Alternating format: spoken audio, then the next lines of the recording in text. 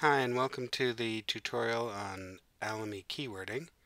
Uh, this tutorial will show you how to set up the program to do Alamy keywording, how to enter the generators and keywords so they go in all the boxes, and then finally it'll show you how to fill in the Alamy licensing information and copy that to all your images, and then finally to export it out as an Excel spreadsheet for, for you to send to Alamy. So right now the program's set up for regular keywording and we go up into preferences and we click on up here on Alamy compliant and you see by doing that the program uh, checks off that we're using essential keywords and it gives it a 50 character limit. We're using main keywords with a 300 limit, comprehensive with an 856 limit, that the uh, caption has a 128 character limit. Uh, right now there are no characters around the multi-term keywords, but you can choose quotes or squares, square brackets. Um, Alamy's not using that right now in their search parameters, so it's not really advantageous, but um, they we put that in there anyways. They changed their minds. Uh, with a keyword sorting, the separator is a square is a blank space and the sorting is done customizable as opposed to alphabetic. Uh, customizable is using a weighted uh, vocabulary, which we've talked about in previous tutorials, and it also does not use plural keywords. Another thing to be aware of in the preferences is that when copying generators, you also might want to copy the Alamy licensing data and the photographer and all these other things or you want to clear the Alamy data. Now that means that when I clear the fields, clear all the generators from an image, I'm also going to clear all the Alamy data. So you can have that checked or not checked. You have to be aware of how you want to use that.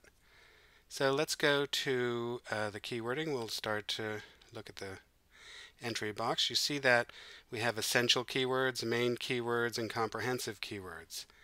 And essential keywords are in the blue box, so I'm going to start entering words that I want to appear at the front of the list so and in their own essential keyword box. So we just start entering things and uh, let's go. We're going to enter uh, Hudson River and when I do that it enters Hudson River here and all the data the geographical data below. And down here in the location it enters Hudson River. So that's a nice way of um, uh, entering uh, all the information with just the one click. Again, we put in radiance and then it puts in radiance up here and all the other words down below. Um, we continue along and as we're entering these terms you'll see that the number of characters remaining continues to get smaller and uh, we're going to enter tree trunk um, but it doesn't say I can't enter tree trunk because that'll give me uh, go over the limit by one character. So the program will tell you when uh, you can enter and when you have too many characters. So enter tree instead. I have five remaining. And now I can just copy these keywords to other images just as I do with um, regular keywords. I just go to keyword tools uh, copy generators to selected images and you'll see that um, it copies them all here. Now I go to this one and say I want to um, take out tree because I want to put in mountain instead and all I did was click on the X and it took the tree out of there. I click on mountain puts it in there, tells me I got one character left. And again, I can do this in cloning also. So I go to the cloning tool, I select these um, images, keyword your clones, and in here I can also add, you know, to the essential and change the essential or copy things from field to field. Uh, so we leave the cloning tool and that's basic it basically it. Now let's deal with the Alamy licensing information. So I go to the first image and I've already filled in all this image, all this information. Remember the dates has to be have to be done the way that Alamy tells you to. And when I change them, the program gives me a message telling me how they should be formatted. So until I get it right, it's going to tell me, and when I do uh, click out, it'll tell me if it's right or wrong. The um, entry fields with the red labels are ones that have to be have to have data to be accepted um, by Alamy.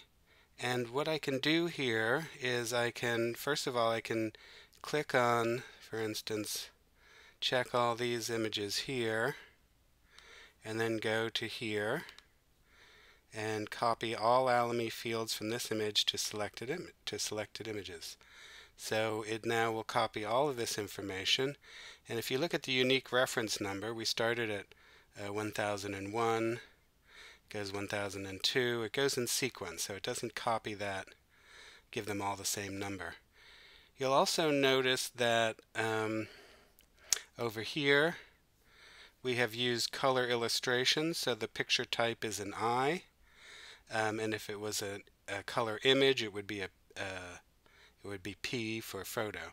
So that information is also entered in um, automatically, along with the number of people. If I should choose, for instance, um, uh, if I choose one person, let's see over here, uh, I choose um, one person and under numbers and there and you see that one is chosen and it also gives Germany because Germany is a place and so it'll fit that in.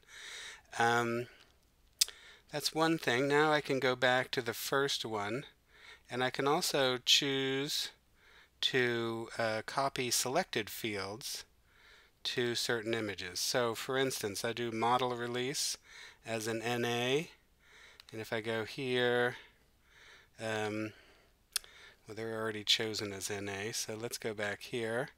We choose this as an A and then I choose these images. And what I need to do is make sure that model release the label is turned orange. Then when I go to copy the selected Alamy field from this image to selected images it has been selected. So then I click on here and it's been changed to an A. So that's a way you can pick out your images and give them all their property, the right property, commercial releases and licensing types and all the other information so that they are correct. Now when you're all filled in, uh, got all the data filled in and the you want to send the uh, spreadsheet out, the important thing is to remember you have to have all your fields filled in or else the program won't allow you to export. So we go up to Export Tools, we say uh, keywords to Alamy spreadsheet, and then it tells me, oh look, 0846, the model release and property release. And that's over here, and yes, this isn't filled in. So we fill that in. There, and now we go over here, and we do the Alamy spreadsheet. And up, there it goes to the downloads. It's in my download folder. Now the important thing here is to remember that we create it as a, a CSV file, which is comma separated, which is the most easiest and best file to use. And you can send that to um, Alamy, that's perfectly fine with them. Or you can make it into an Excel spreadsheet. But the problem with making it into an Excel spreadsheet um, is that sometimes they, they messes around with the data. So if we look here, everything's here, and most importantly, the date fields are all the way that you entered them um, right in here. If, though, um, you enter it as an Excel spreadsheet, we enter it. The dates are fine. That's fine because we're doing it in the European method with the date in front of the month and then the year. Sometimes um, Excel will change the format and give you uh, different information than you put in there. It doesn't treat it as a text field, so you have to be aware of that. But uh, for your purposes, the um, comma separated field is just as good as the Excel. So um, that's it, and uh, thank you very much.